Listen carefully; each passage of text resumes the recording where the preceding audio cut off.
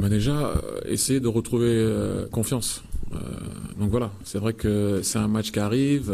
on me dit bien souvent, est-ce qu'il arrive au bon, moment vu notre position au championnat? Mais on dit la même chose aux équipes qui sont en tête aussi.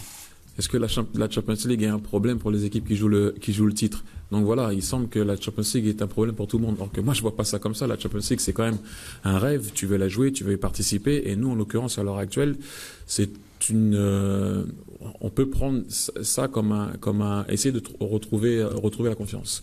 Euh, voilà. Attention, c'est pas facile de venir gagner ici. Je, je, pense que vous avez vu le but qu'ils ont pris contre Dortmund à la 85e.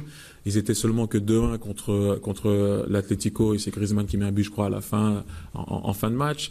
Euh, je sais pas si vous savez ici, mais ils disent no sweat, no glory.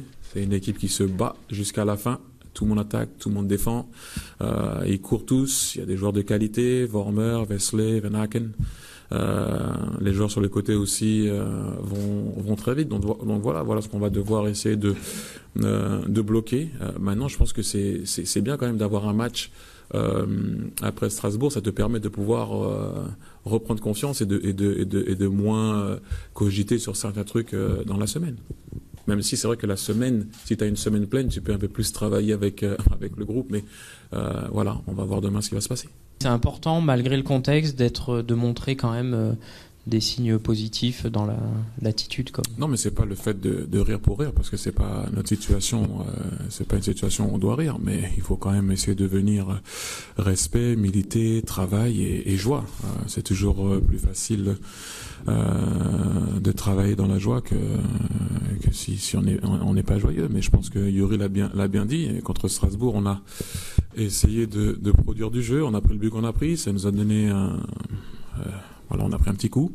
Euh, après, on est revenu, on a continué à jouer, on s'est créé des occasions. Euh, mais bon, euh, ça n'a pas tourné en notre, en notre faveur.